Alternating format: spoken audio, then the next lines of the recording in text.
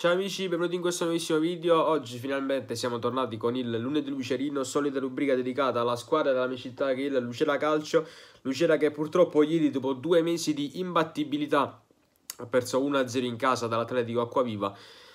Che dire, è una sconfitta che, che, brucia perché abbiamo perso di nuovo il terzo posto, siamo scesi adesso al quarto posto in classifica, però sempre a meno 1 appunto dal, dal, dall'Acquaviva terzo, poi a meno 8 dallo Spinazzola e poi se non sbaglio, non mi ricordo, forse 11-12 punti, forse anche 13 dal, dal Mola primo, però il Mola non lo consideriamo perché è una squadra fortissima che sta letteralmente volando in questo campionato.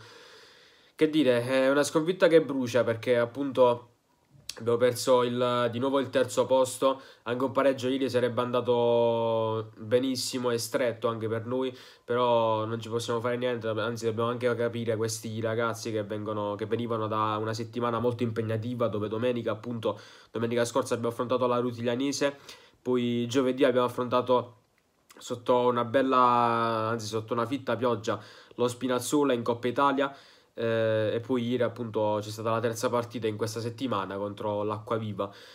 E, ehm, che a dire, brutta sconfitta, però parliamo della partita. Una partita che è iniziata con l'Acquaviva che ha sferato subito il vantaggio al quinto minuto con Pinto che sugli sviluppi di un, di un, calcio all'angolo da terra, colpisce in una mischia da terra, colpisce la traversa e subito prima occasione pericolosa di questa, di questa partita.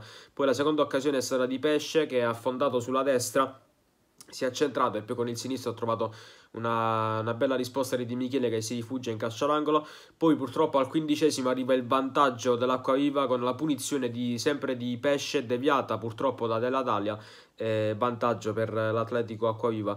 Poi Lucera che dopo il vantaggio dell'Acquaviva prova a creare qualche azione con Iddi Abdul se non sbaglio, cioè deve pronunciare così, ma, oppure semplicemente Iddi, come il suo nome, come chiamiamo Oscar, che Oscar si chiama Oscar Maua, Oscar Maua però lo, lo, chiamiamo Oscar. Iddi che è appunto un nuovo arrivato in questo Lucera, se non sbaglio è sempre della stessa nazionalità di Oscar, ugandese, però classe 2003, eh, speriamo di vederli bene all'opera, come li ho visti bene in estate con la Juniores eh, dell'Ucira, con, con Mister Diurno. Speriamo di vederli all'opera insieme anche in prima squadra, in promozione. Quindi speriamo bene. Eh, vabbè, Idi ha, ha, provato a creare un'azione, ha affondato sulla... è, è andato fino in fondo sulla, sulla, sinistra, ha provato a metterla in mezzo, ma ha trovato il portiere della Coiva pronto sul, sul cross a, a prendere il, il pallone. E poi al 35esimo arriva l'episodio più discusso di questa partita. Io non parlo neanche più, anzi non mi meraviglio neanche più perché questa barzelletta è iniziata già da, da San Ferdinando, dalla prima giornata in pratica. Fallo su Di Canio in area di rigore, veramente c'è un fallo proprio che, da, che forse anche da, da, seconda, terza categoria, veramente un pestone un altro poco, cioè gli, è andato proprio è andato proprio con il piede, anzi il difensore è andato con il piede a martello, su, appunto sul, sul piede sinistro di Di Canio. L'arbitro che intelligentemente, intelligentemente, che cosa fa? Fischia la simulazione e gli dà addirittura il cartellino giallo per simulazione. Gli dà addirittura il cartellino giallo. E poi mi chiedo, giustamente, perché bisogna anche incolpare gli altri, ma i guardalinee che cosa, che cosa stanno a fare in campo? Cioè i guardalinee sono quelli che devono, sono le persone, i collaboratori dell'arbitro, sono i collaboratori dell'arbitro che devono aiutare l'arbitro. Ma se voi in queste circostanze no, non intervenite, non fate niente, non, nemmeno non, non, non, ne parlate con, con, con, il vostro collaboratore arbitro, allora che, che, che, cosa state a fare in campo? Che cosa state a fare in campo? Va bene che l'arbitro sbaglia tutto, l'arbitro è, un altro, è, è un'altra eccezione, ma pure i guardaline no, che stanno lì in campo e dovrebbero, dovrebbero aiutare l'arbitro, che cosa stanno a fare là? Ma comunque io non mi meraviglio neanche più perché questa barzelletta inizierà da San Ferdinando con il fallo sempre su Di Canio. Poi possiamo continuare con lo Spinazzola al comunale dove è stato fischiato un fuorigioco clamoroso su Frazzano che era partito da dietro Grasso che ha lasciato sfilare il pallone appunto per Frazzano. Che, che possiamo dire più? Possiamo dire il, il, fallo su Grasso a Palese contro la Virtus Palese che poi vabbè dopo, poco dopo poi abbiamo segnato il gol del 2-2. Un altro episodio giovedì scorso in Coppa Italia, il fallo di mano che ci poteva portare al calcio di rigore forse ci poteva portare alla qualificazione perché con il 2-2 passavamo. E poi l'episodio di ieri. Io veramente non parlo neanche più perché ormai mi sono, mi sono ehm, letteralmente rotto le scatole perché veramente ormai gli arbitri sono, sono, una cosa veramente scandalosa, ma non lo vediamo solo in queste categorie, lo vediamo anche nelle categorie quelle proprio alte alte, tipo, tipo la Serie A, Serie B, Serie C, quindi io non mi meraviglio neanche più. Però va bene, va bene, lasciamo stare.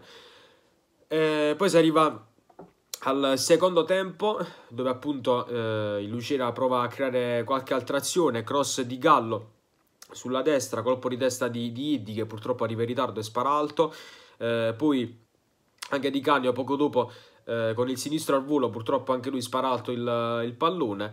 Eh, e infine eh, l'ultima azione è stata di, di Lenuci che ha, che ha tu per tu con Di Michele grazie a Lucira per, eh, per il possibile 2-0 e manda fuori il, il pallone. E niente, poi è finita così la partita, finita 1-0 per l'Atletico Coiva con ovviamente l'episodio del calcio di rigore che è proprio di discutibile, cioè anzi più discusso, però va bene. Lasciamo stare.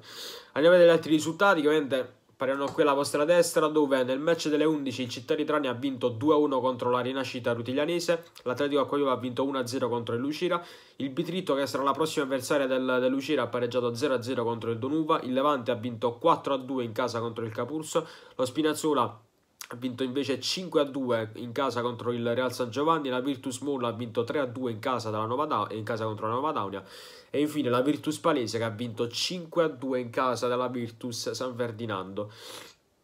Va bene, tanto questa qui è la classifica con la Virtus Mula al primo posto con 44 punti, secondo posto per lo Spinazzola 39 punti, poi c'è l'Acquaviva a 32, Lucera quarto posto con 31 punti, Virtus San Ferdinando Levante Azzurro con 27, poi Nuova Daunia con 24, Virtus Palese 23, Città Ritrani 21, Donuva 18, Real San Giovanni e Bitritto, ah, Real San Giovanni, Bitritto e Capurzo 13 punti, infine Rinascita Rutiglianese con 7 punti.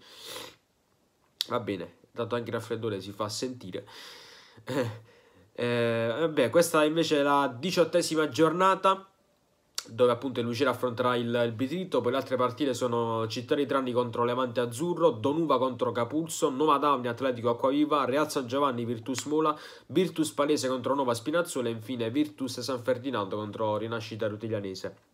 Bene, affrontiamo il, il Bitritto, che ovviamente non è la stessa squadra dell'anno scorso, che appunto ci ha battuto 7-0, 4-1, 4-0, non, non è la solita squadra degli anni scorsi, però ha mantenuto alcuni giocatori di di esperienza come un certo Ivan Loseto, grande difensore che poteva essere che era una promessa del Bari negli anni scorsi, poi ha, ha preso alcuni, alcuni, giovani nel mercato di questa cioè nella, nella, sessione di mercato estiva, però comunque l'andata è stata una partita che potevamo vincere anche con un altro, con un altro risultato perché abbiamo letteralmente dominato. Abbiamo vinto 2-1, ci siamo ripresi la rivincita dell'anno scorso però adesso la rivincita deve essere doppia perché si deve vincere questa partita. Loro sono in zona, eh, in zona playout, si stanno giocando la salvezza.